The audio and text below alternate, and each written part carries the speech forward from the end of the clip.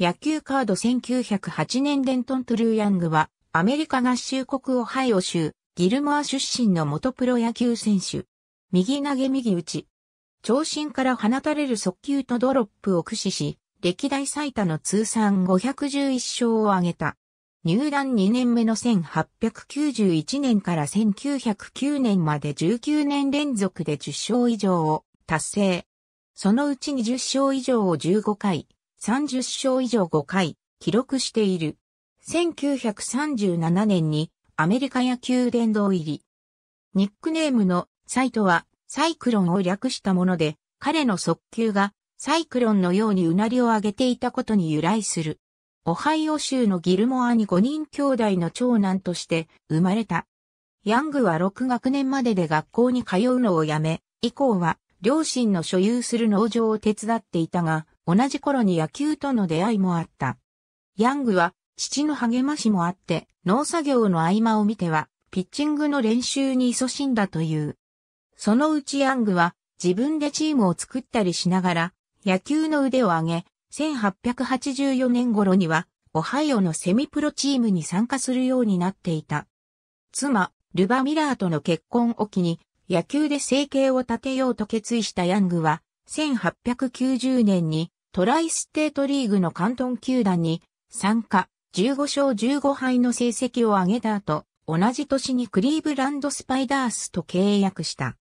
23歳の初年度は9勝7敗の成績だったが、2年目の1891年には27勝を挙げ、3年目1892年には36勝12敗、リーグ最優秀防御率となる1.93を記録し、その剛腕ぶりが知られるようになった。4年目の1893年に、投手、本塁間の距離が60フィート6インチに広げられるルール改定があり、ヤングの防御率も3点台まで落ち込んだ。しかしヤングはその後も年50試合前後、投球回にして400イニング以上を毎年故障もなく投げ続けた。投手、本塁間の距離が伸びた1893年でさえ34勝16敗の成績を上げ、1895年には3度目の30勝に到達し2度目の最多勝利投手となる。1896年には28勝とリーグ最多の140奪三振を記録。1897年にはノーヒッターを達成するなど、1898年までのスパイダーズ在籍時に20勝を挙げられなかったのは、最初の1年目だけという活躍ぶりだった。1899年にセントルイスに移るが、これはナショナルリーグの優勝を手にしたいスパイダーズのオーナーたちがセントルイス・ブラウンズの経営に参画し、スパイダーズの主力選手たちをセントルイスに集めたためである。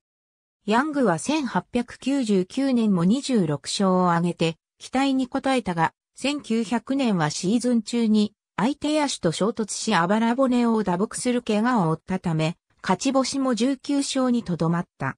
1901年、ヤングは32歳になっていたが、この年創設されたアメリカンリーグのボストンアメリカンズから誘いを受ける。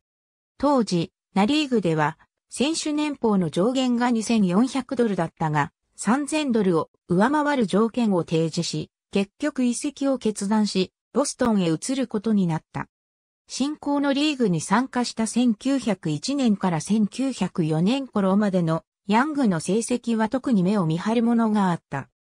1901年から1903年まで3年続けてリーグ最多勝利投手となり、ナショナルリーグとの間に初めて行われたワールドシリーズでも2勝を挙げてチームをシリーズ制覇に導いた。1904年5月5日のフィラデルフィアアスレチックス戦でアメリカンリーグ最初の完全試合を達成し、観客がフィールドへなだれ込み、ヤングを肩車にして担ぎ上げた。完全試合は当時史上3人目で、投手、本塁間が60フィート6インチになってからは初めての記録だった。この37歳での完全試合達成は最高齢、記録で100年後の2004年にランディ・ジョンソンが40歳で達成し、更新した。また、この完全試合後、ヤングはアスレチックスに対し、連続24イニングで1本の安打も許さなかった。またこの年は連続45イニング無失点という記録も作っている。ボストンには40歳を過ぎた1908年まで在籍したが、40歳を超えた1907年と1908年でさえ、それぞれ21勝と1点台の防御率を記録している。1908年6月30日、ニューヨークハイランダースを相手に、完全試合を含め自身3度目のノーヒッターを達成した。41歳での達成は、ノーラン・ライアンに更新されるまで82年間、MLB 最高齢記録だった。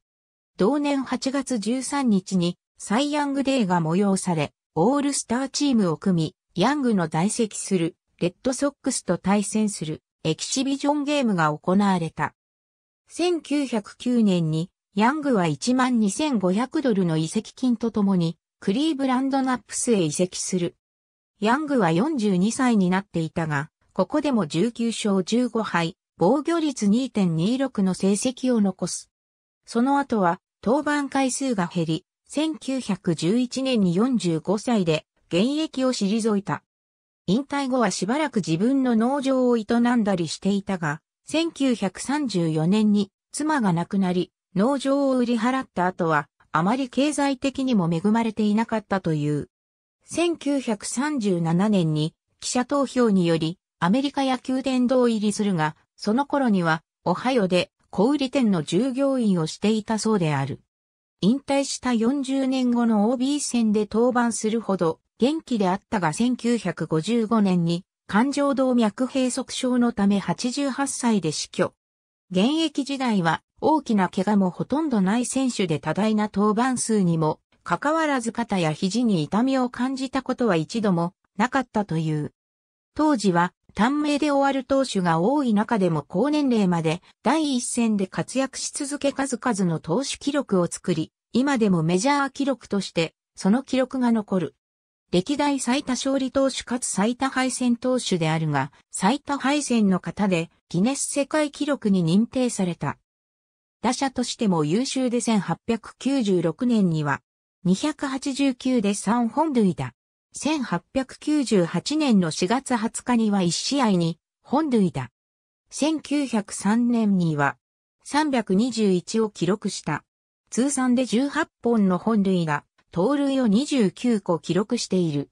ヤングの死の翌年1956年に彼の業績を称えて、フォードフリックコミッショナーがシーズンの最優秀投手を表彰するサイヤング賞を制定した。また、ベーブ・ルースが自伝で好きな選手にヤングを挙げるなど、当時の選手たちからも人気があった。